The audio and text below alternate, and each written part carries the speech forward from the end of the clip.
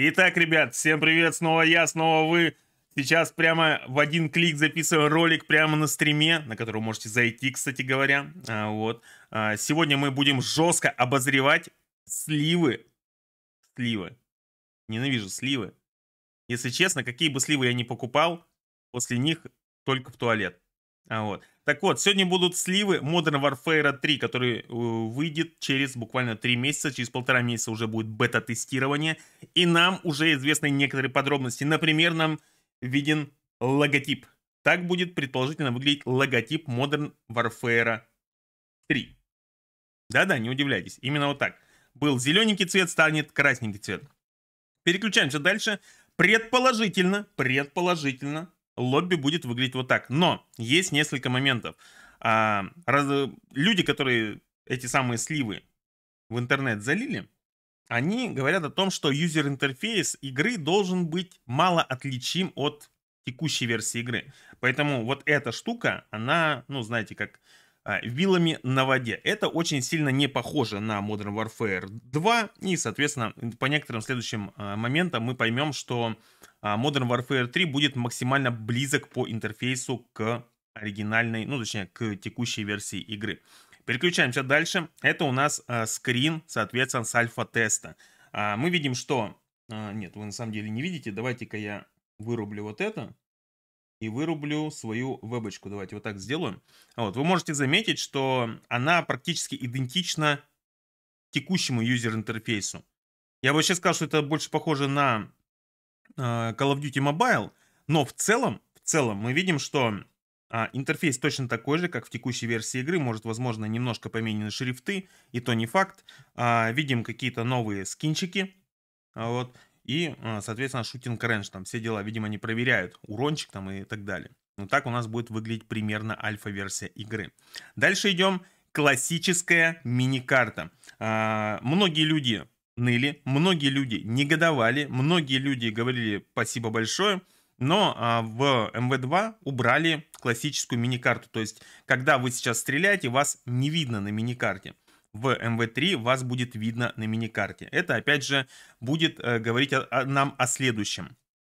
Э, скорее всего, механика будет такая же, как в Z1. То есть все сборки будут через глушаки, для того, чтобы вас не было видно на миникарте. А сейчас, если что, вас не видно на миникарте всегда. Только если вы не начинаете стрелять под бэбкой. И только в этом моменте вас может немножко раскрыть. Идем дальше. У нас появятся а, шлемы, соответственно, разгрузки, перчатки и боты. Они будут выполнять роль перков. Например, у нас будет гренадер вест, там оверкилл, там инфантри, скаут и так далее. Или, например, боты ниндзи. Вот. Вот такие вот они будут выглядеть. Кто-то говорит, что такое же э, сейчас есть в у Warface или чем-то таком. А, вот. А в целом, в целом, это просто будут предметы, которые будут заменять нам перки. Но есть некоторые подробности. Например, а, когда вы будете выбирать оверкилл, то есть вот этот чест а, оверкилловский, то вы сможете брать два оружия, например, у вас будут full э, патроны, но при этом у вас нельзя будет взять э, тактическое летальное снаряжение. Это достаточно жестко. Э, вот, например, вы можете увидеть вот здесь боты, тактические пады какие-то э, поставлены. Э, у нас есть Э, видите, интерфейс, кстати говоря, очень сильно похож на интерфейс э, оригинальной игры. Ну, то есть в то, что мы сейчас играем. Он очень сильно похож. Э, чуть-чуть только, ну, доработано, можно сказать. Флешку немножко изменили, фраг-гранату немного, гранату немного изменили. А, видим CX-9, кстати говоря. Это, по-моему, CX-9 из Warzone 1. Rival 9 он будет называться. Прикольно, прикольно. А, вот так будут выглядеть перчаточки. То есть вот они у нас. Tactical Combat, Scavenger Combat, Marksman Gloves, Assault Gloves, Specialist Gloves. Ну и, соответственно, каждый из них будет выполнять какой-то э, какой-то перк, заменять какой-то перк. Идем дальше. Пушечки. Первые сливы пушечек. Это тоже очень круто. Это у нас, получается, снайперские винтовки. А, если вы знаете оригинальные названия этих винтовок, вы, конечно, можете нам написать их в комментариях. А, я, например, вижу здесь э, как бы вот это как будто AX50.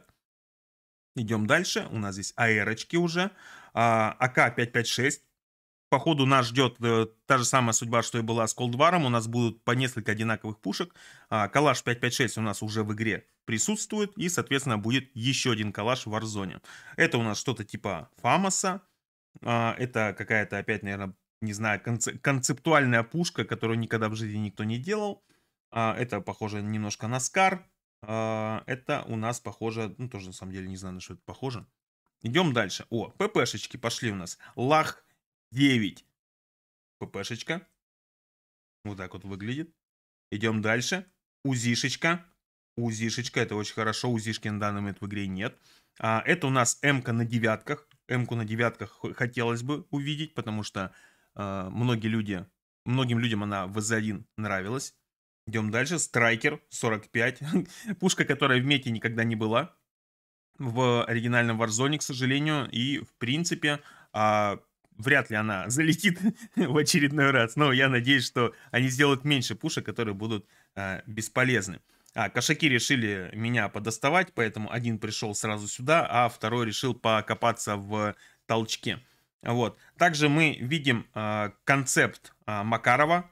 Это у нас Макаров. Вот он. То есть это какой-то скин на Макарова, тоже можете заметить, с э, каким-то э, жестким намордником. Они вообще типа полюбили скины с намордниками, я заметил. И везде их лепят. Так, где я? Где я? Вот он я. Вот он я, ребята. А, собственно, на этом пока все.